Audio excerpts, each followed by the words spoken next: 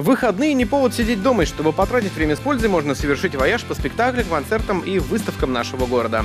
Начать выходные можно в Саровском драматическом театре. 9 и 10 марта в 10 утра для детей пройдет сказка в концертном исполнении «Серебряный рубль». 9 марта в 6 вечера начнется «Водевиль так не бывает». Спектакль современный, но создан по образцам лучших водевилей прошлых столетий. В воскресенье в то же время на сцене театра покажут комедию «Сумасшедшая квартирка».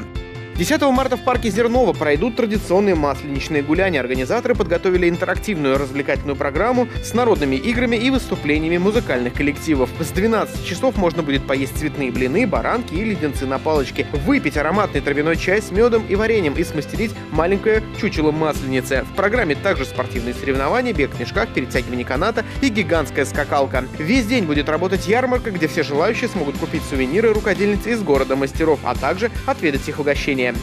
Завершится праздник с сожжением чучела Масленицы. Приятно провести время можно и в кинотеатре. На экранах кинотеатров новая анимация «Как приручить дракона 3». Заключительный эпизод известной саги про драконов и викингов. Появление загадочной дневной фурии изменило жизнь острова, и теперь Икинг и Беззубик столкнутся с безжалостным охотником на драконов, жаждущим уничтожить все, что им дорого.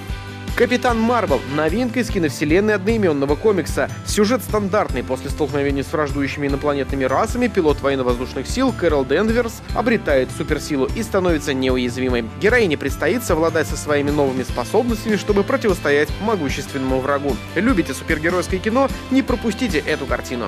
Оман перерождения» — новый фильм ужасов на заданную тему. В центре сюжета история молодой матери, которая обеспокоена странным поведением своего восьмилетнего сына. Она считает, что причина такого поведения — нечто сверхъестественное. Сможет ли фильм заставить вас ерзать в кресле, придется выяснять лично. Отправляйтесь в кинотеатр и проверьте это.